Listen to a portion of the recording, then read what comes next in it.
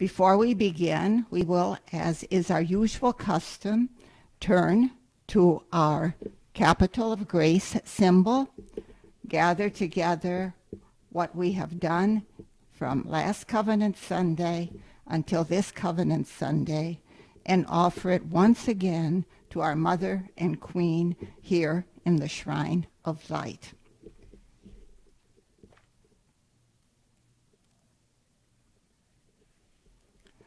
My Queen, my Mother, I give myself entirely to you, and to show my devotion to you, I consecrate to you this day my eyes, my ears, my mouth, my heart, my entire self without reserve. As I am your own, my good mother, guard me and defend me as your property and possession. Amen. Now, today, as we begin our reflection together, we are going to do what Jesus asks us not to do. Yes, Jesus said, No one who sets a hand to the plow and looks to what was left behind is not for the kingdom of God. However, in our case, I think Jesus may be happy because it is the last month before our motto changes. From January 2022 up to and including this day, we were looking at our motto for the year, which is lead from the shrine with trust in divine providence and charity for all. We're going to do this step by step by looking at the major ideas in each one of our reflections. In January, you may recall, we used a little story as an example to lead us into the world of something, a virtue, and actually a right for human beings that runs through the very heart and core of Schoenstatt. And that something is interior freedom. The little story we use goes like this. Ever since I was a little kid, I did not want to be me. I wanted to be like Billy Weldon. And Billy Weldon didn't even like me. I liked like what he liked. I walked like he walked. I talked like he walked. And I signed up for the same high school that Billy signed up, which was why Billy Weldon changed. He began to hang around with Herbie Vanderdam. He walked like Herbie. He talked like Herbie. He mixed me up. I began to walk and talk like Billy, who was walking and talking like Herbie. And then it dawned on me that Herbie walked and talked like Joey Haviland. And Joey Haviland walked and talked like Corky Sabinson. So here I am, walking and talking like Billy Weldon's imitation of Herbie Vanderdam's version of Joey Haviland's trying to walk and talk like Corby Sabinson. And who do you think Corey Sabinson is always walking and talking like? Of all people, Dopey Wellington, that little pest who walks and talks like me. This unknown author hit the nail on the head, which is part of our problem today. And that is we don't dare to be that person and that gift that God gave to the world at this time. And already in 1912, over a hundred years ago, when our father began with this, as a spiritual director of the boys in the seminary, his very first talk had this key statement that has accompanied us forever. And that key statement was, under the protection of Mary, we want to learn to educate ourselves to become firm, free, priestly personalities. And slowly and carefully, Father, through his instructions and through his personal guidance, showed the boys how to become that, uh, that and acquire that personal freedom, what freedom which really made them who they are. And he acquainted them also with a term that indicates the opposite of what they were to be. And that who they were at this point was a mass man who did what everyone did, as they did it, and how they did it. And the opposite, what Father showed him, was the autonomous new person, self-acting, animated, doing it with spirit, who does not shy away from decisions, who takes charge of his own life, and whose freedom is rooted from within. And with those ideas in mind, our special striving for the month, it was suggested that we decide why we do something and how we do something and for what we do something in regard to who and what we are, because we should become more and more aware that we, who have made the covenant of love, have been chosen, and we're very special, and we are personally loved. So with those ideas in mind, and then all the other things that came upon us from Covenant Sunday January to Covenant Sunday February, was the basis for our contributions to the capital of grace. In February, we looked briefly at prayer because we knew that if we wanted to acquire and make this freedom our own, we could not do it all by ourselves. And so we took the one of the definitions that Father gave us of prayer and this definition is as follows. Prayer is personal conversation, a personal speaking with God. It should be an expression of our very own interior interests. And for this, to have this personal conversation, an expression of our personal interests, it is presupposed that God, the Blessed Mother, Jesus are a real person to me, to each one of us. And so we, we, you, we again had a guide in what we should become and also how we could pray. And the guide was given to us by Father, who got it in a article from the newspaper and it was an example of a little French boy. And when he prayed, he talked to our Lord in this way. He said, Dear God, I want to be good every day. I want to be good because you come daily into my heart. So obviously, he attended Holy Mass and went to Holy Communion. Then he continued, I can't do all my homework. And I still make spelling mistakes. But I want to do the best so that you, dear Lord, can see that I am learning. I love you, Jesus, with all my heart. At home, I'm hardly naughty, dear Jesus. But Daddy sometimes gets cross with me. He is sometimes cross because I often get up from the table without permission and because I quarrel with Odelia, his sister. They should have spanked me. He means mom and dad. But they didn't. And I am glad. I hope they won't.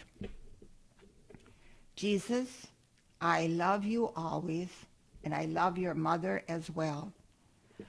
But I don't know if you love me very much because I have so many faults. I do not listen when I'm told to leave Odelia alone and not argue with her. Once we even had a fist fight, but I won't do it again, dear Jesus. I promise. Sometimes I talk back to the teacher, and I am stubborn when I have to eat soup or fish. But I want to improve so that you, dear child Jesus, will be happy when you see me at Holy Communion. Of course, now, these are a child's interests, such as homework, wanting to be good, fighting, not fighting with a sister, spelling mistakes, etc. But the important point is the boy speaks from his heart and he is not talking into a vacuum. He is talking to someone. And so we could summarize this process of prayer in this way. The mouth speaks, the heart joins in, and practical life repeats. The little boy's mouth spoke to Jesus. It came from the depths of his interior, from his heart. And in his practical life, he wanted to apply the good things that he knew. And so, this is then what we were going to try to do in February to develop, to increase, to further our relationship with our covenant partner, with Jesus, with the Holy Spirit, with the Heavenly Father. In March, we took advantage of the time and we put March under a two-word heading. And that two-word heading I'm going to say in Spanish. The heading was Si Padre, which means yes, Father. We chose this, first of all, because in March we celebrated the going home of one of our original Schoenstatt members, Jose Cruz. And on his tombstone, he has the words written very large so that it can be seen clearly. Si Padre. Yes, Father. So obviously, that was the guiding light of his life. We also looked at other role models for the Yes Father, the Si Padre. And of course, the first one in the month of March would be St. Joseph, an outstanding person who used the Yes Father, lived according to the wish and will of the Heavenly Father. We also looked at another Joseph, Joseph Engling, one of the very first young men who we actually rest on his shoulders because his contributions to the capital of grace would help to make our shrine a place of grace. He was killed in the Second World War, and one of his acquaintances wrote this later. We can say of him, Joseph offered his physical limitations, and he had several. He was clumsy, he was big, he had a speech impediment, but he also offers his successes and vast experiences of unsuccessful apostolic commitment, his self-education, and the hardships of his life as a soldier on the battlefields of World War I for the growth and spread of Schoenstatt. On May 31st, 1918, he'd offered his life for this intention. He died on October 4th, 4th 1918, near Cambrai, France. We can say that the result of his dedication, his yes, Father, has had a profound effect. He didn't see it, but we see it and we experience it. And then the quote continues After Joseph Engling's death, the others were aware he was greatly missed by his family and friends on earth, but he became an even greater intercessor and friend in heaven. Until today, he remains one of the great inspirations for Schoenstatt members around the world. And we also can take a great role model in our father, Father Kentenich. Already at his first assignment as the leader of the boys, as their spiritual director, in his opening talk, he says, Then came my appointment as spiritual director. It was entirely without my doing. Hence, it must be God's will. That's the Si Padre. I now place myself entirely at your disposal, meaning the boys, with all that I am and have, my knowledge and my ignorance, my ability and inability, but above all, with my heart.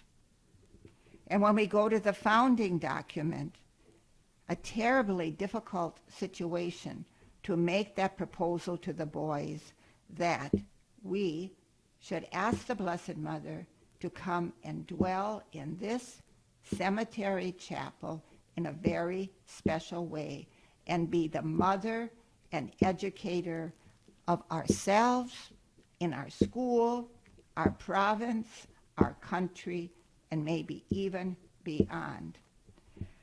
But after struggling for months, he said, if God wants it, it will work. If God wa- doesn't want it, it won't work. Therefore, yes, Father, I make the proposal.